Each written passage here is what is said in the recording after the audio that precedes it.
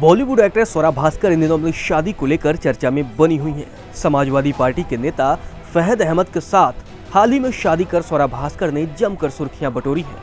दूसरी ओर, अहमद के साथ शादी को लेकर स्वरा भास्कर आलोचकों के निशाने पर भी आ गई हैं।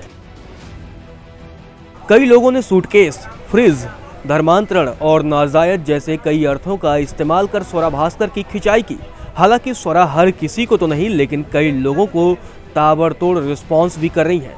वो खुद का मज़ाक बनते हुए देखने वालों में से नहीं है।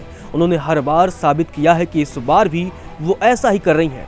हाल ही में स्वरा ने अब एक नए ट्वीट में अपने लिए नफरत करने वालों पर कटाक्ष किया है। स्वरा भास्कर ने अपने कोर्ट मैरिज की नई तस्वीरों को शेयर करते हुए ट्वीट किया, नफरत करने वाले, सूटकेस, फ्रिज, नाजायज, धर्मांतरण, ब्ला ब्ला ब्ला। तस्वीरों में स्वरा और फहाद को एक साथ खुश देखा जा सकता है। क्योंकि वे आधिकारिक रूप से पति पत्नी बन गए हैं। इस जोड़े को अपने जश्न के दौरान गले मिलते और मुस्कुराते हुए देखा जा सकता है। फहद को स्वरा की माँ इरा भास्कर को गले लगाते हुए भी देखा जा सकता है, जो उनके चेहरे पर एक बड़ी मुस्कान बिखेरती नज़र आ रही है।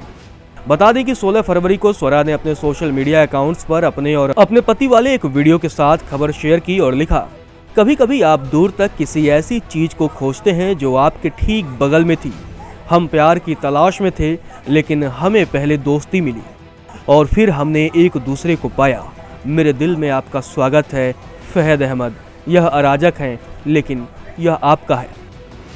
वहीं फहद ने उनके पोस्ट को रिट्वीट किया और जवाब दिया, मुझे कभी नहीं पता था कि अराजकता इतनी सुंदर हो सकती है। मेरा हाथ थामने के लिए धन्यवाद।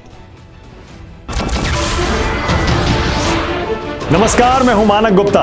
अगर आपको हमारा ये वीडियो पसंद आया हो तो इसे लाइक और शेयर ज़रूर करें। और हाँ हमें सब्सक्राइब और फॉलो करना ना भूलें, ताकि आप देश और दुनिया की कोई खबर मिस ना करें। तो जुड़े रहिए हमारे साथ और देखते रहिए न्यूज़ 24